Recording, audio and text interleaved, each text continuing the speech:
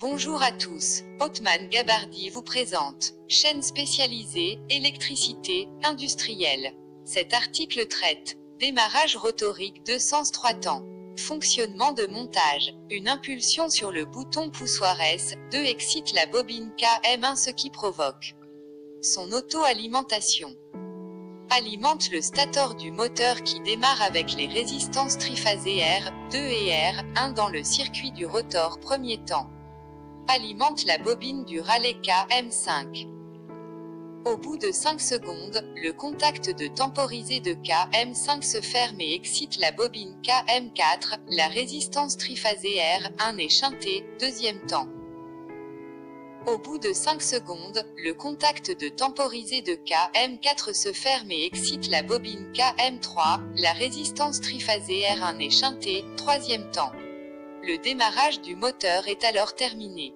Une action sur le bouton poussoir S1 ou une fonction de relais thermique F1 désexcite toutes les bobines et le moteur s'arrête.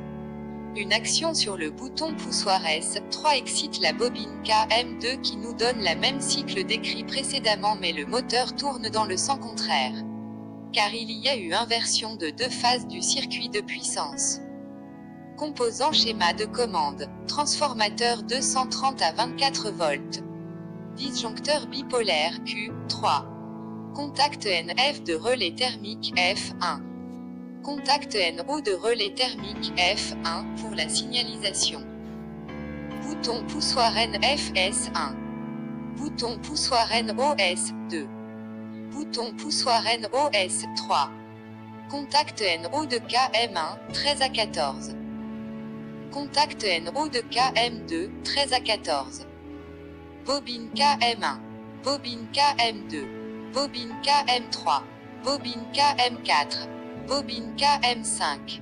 Deux contacts NO de KM1 et KM2 pour la commande de leçon de démarrage.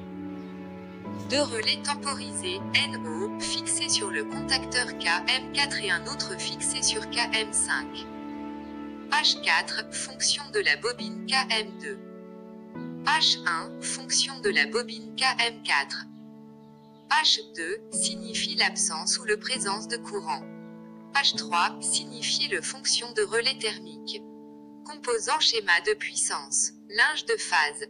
Fusible sectionneur Q2. Disjoncteur tripolaire Q1. Discontacteur marche avant KM1. Discontacteur marche arrière KM2. Contacteur deuxième temps KM3. Relais thermique F1. Résistance triphasée R2.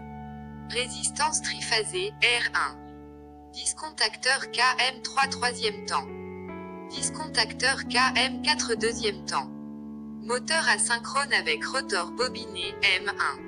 Remarque, les discontacteurs KM1 et KM2 ont verrouillé électriquement et mécaniquement afin d'éviter les courts-circuits entre phases.